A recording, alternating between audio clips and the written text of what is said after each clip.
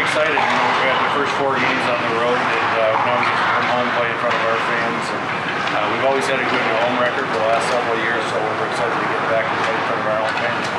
Well, last year we did. Uh, we were the highest scoring team in the league, so hopefully we can continue to do that. Our specialty teams are very good, but we uh, we're probably I'd say the fastest team in the league, and that's what we want to play fast and make sure that uh, we're skating and we're getting to the net and we're doing all the little things. Yeah, last year, we, again, I said we were the number one scoring team in the league, so we want to tighten up defensively this year. Uh, specialty teams, our power play was number one, and our penalty kill was down there in the bottom. Worked on our penalty kill this year. We want to make sure we get off to a better start on that. We have, I think, the top five in the league right now for penalty kill. So we've been working on that this weekend in practice and had a great practice.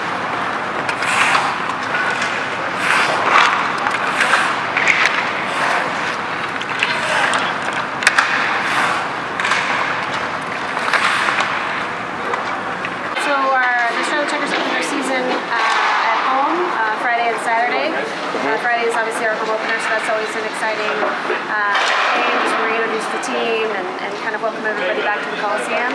Uh, Saturday is our season, so we're giving away kids jerseys to the first 1,500 kids, uh, $5 kids tickets. Uh, we're also raising money for uh, Florence, Hurricane Florence relief, so that happens this weekend uh, with the Carolina Hockey Package, Strong Package. So proceeds will go back to Samaritan's Purse. We're also selling a T-shirt that will also uh, proceeds will go back to Samaritan's Purse as well.